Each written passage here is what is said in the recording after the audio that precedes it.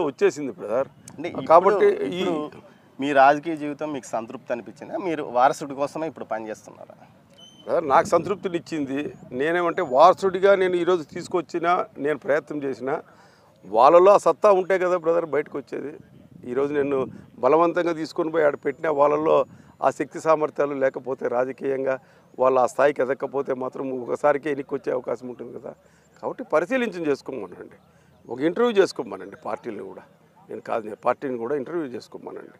Suppose వీళ్ళు set అవుతారు నిమ్మల కృష్ణప్ప గారి అబ్బాయిలు తెలివైన వాళ్ళు రాజకీయంగా ఎక్కడ పెట్టినా కూడా మనం సక్సెస్ఫుల్గా ముందుకు పోతారు అనేటువంటి ఆలోచనప్పుడే వచ్చిన తర్వాత నిర్ణయం తీసుకోమనండి. అంతేగాని నేనేమి రాజకీయంలో నా కొడుకుల కోసమే నేను పనిచేయాలనేటువంటి ఆలోచన లేదు. పార్టీ కోసం పనిచేయాలని నిరంతరం నేను ప్రయత్నం చేస్తూ వచ్చాను. నాకు టికెట్ ఇస్తారా ఈయన నేను ఎప్పుడూ ఆలోచన చేయలే. ఏకదాటిగా పని చేసుకుంటా పోయినా నన్ను పిలిచి టికెట్ ఇచ్చిండే రోజులు ఇప్పటి వరకు. కాబట్టి భవిష్యత్తులో కూడా నా కొడుకులు సూటబుల్ పర్సన్స్ అని తేల్చినే నాకు ఆ జీవితం గడిపి ఇవ్వ ఇవ్వమని నేను కోరుతా ఉన్నాను.